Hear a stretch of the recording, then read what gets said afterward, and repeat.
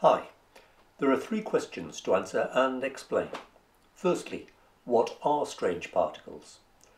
Why are they called strange? And where do they come from and where do they go? In the explanations, we'll use kaons as the examples.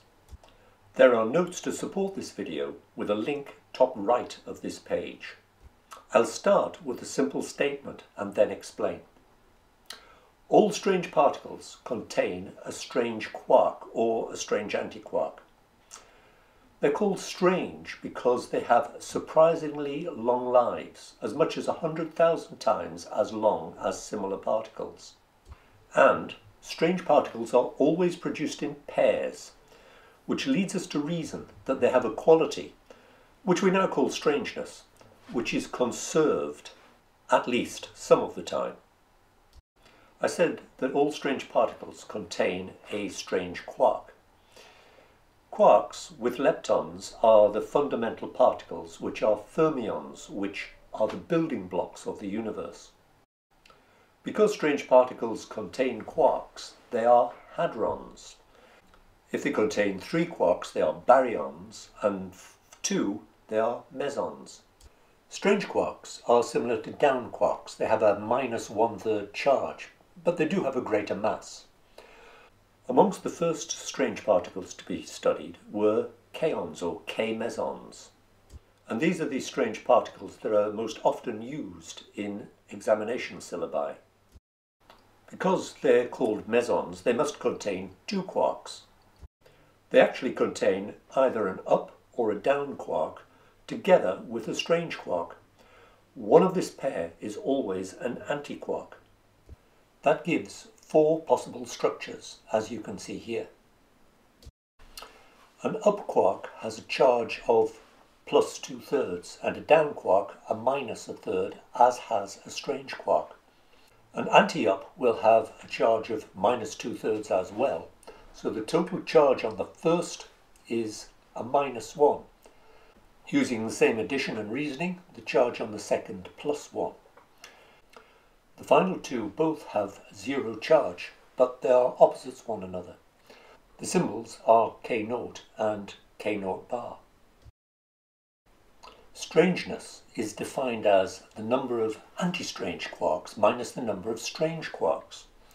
So, looking at our four examples, the first has one strange quark, no anti-strange, so it's 0 minus 1, so it has a strange value of minus 1. And taking again just the second, it has an anti-strange, so it's 1 minus 0, which is a strangeness of 1. Kaons are produced in strong interactions or with the strong force in collisions between high energy particles. These collisions don't result in the production of one strange particle, but always two. In this production, strangeness is conserved. The decay is via the weak force or weak interaction. And although this happens in a minute fraction of time, it is relatively slow compared to other similar interactions. In this weak force decay, strangeness is generally not conserved. Kaons are produced by high energy collisions, for example by cosmic rays striking the upper atmosphere or in a particle accelerator. This combination of pion and proton quickly disintegrate but via the strong force, producing two strange particles, a kaon and a sigma. Because the proton and pion were not strange, they contain no strange quarks.